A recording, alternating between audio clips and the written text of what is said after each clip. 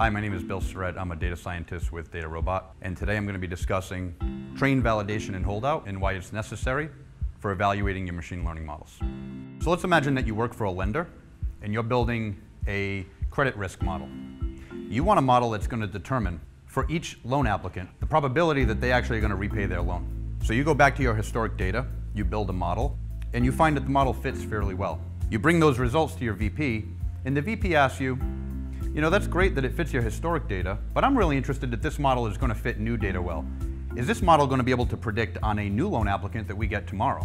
Let's look at what happens when we try to fit a model to data. So let's say that you want to fit a fairly simple linear model. You take your data, you fit it into an algorithm, and what that algorithm is going to do behind the scenes, it's going to search through a candidate set of all possible linear models. And it's going to return one that fits that data well. So the question becomes, how is that model going to do on data that it's never seen before?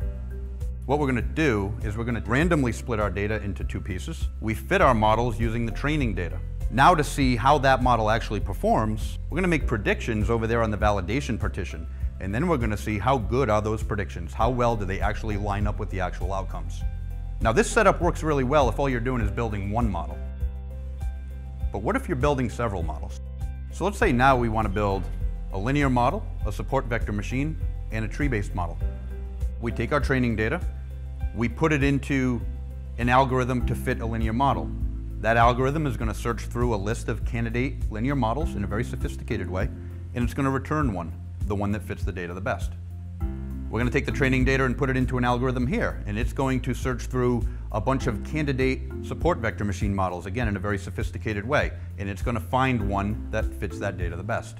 Tree-based algorithm, same thing. We're going to take our training data, put it into an algorithm that's going to search in a very sophisticated way through a bunch of different possible tree-based models, and it's going to return the one that fits the training data the best. What that means now is, again, the training data has been used for model selection. We cannot use that data to evaluate model performance.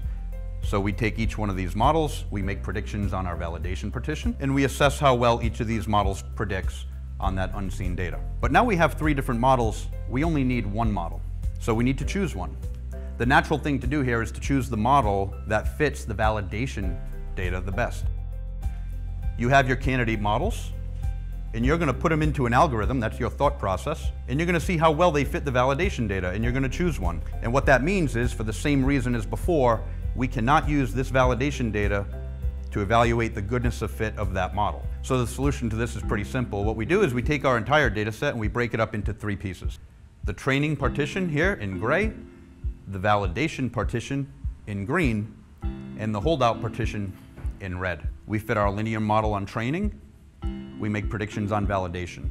We fit our support vector machine on training, we make predictions on validation. We fit our tree-based model on training, we make predictions on validation. For those three models, we see which one fits the validation data the best. We choose that model, but now we can't use any of this data because it's all been used in model selection. So what we do is we take that final chosen model, we go to our holdout set, we use it to make predictions and we evaluate how well that model predicts on the holdout set. So that's an overview of the train validation holdout partitioning and why it's necessary to evaluate your machine learning models.